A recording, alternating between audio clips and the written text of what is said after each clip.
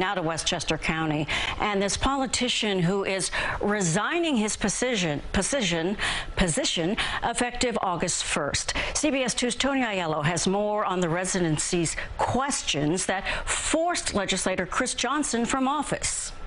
This is politics at its worst. In May, Westchester County legislator Christopher Johnson sounded defiant. Eight weeks later, this resignation letter, his promising career now deflated. He's stepping down from the county board. It has to be a sense of relief that they didn't have to do the hard thing of ousting one of their members. Tom Abinanti served on the county board from 1992 to 2011. He says the scandal involving Johnson was troubling. Johnson was elected to represent the 16th district. A year ago, he moved into this $800,000 house in the 15th district. The county charter says he should have resigned then. Instead, Johnson continued to serve, collecting 88,000 a year for the part-time legislative position. He also rented out his affordable unit in this complex after moving into his new home.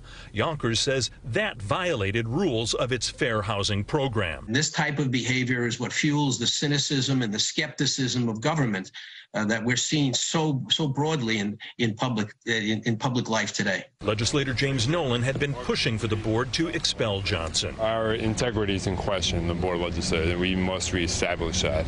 Uh, and that's what I look forward to my colleagues doing, working forward to reestablish the integrity and most important, the respect of the constituents of the Board of Legislators. In his resignation statement, Johnson says continuing to serve would be, quote, an interference. And he wants the Board of Legislators to focus time and energy on more important issues. In Yonkers, Tony Aiello, CBS 2 News.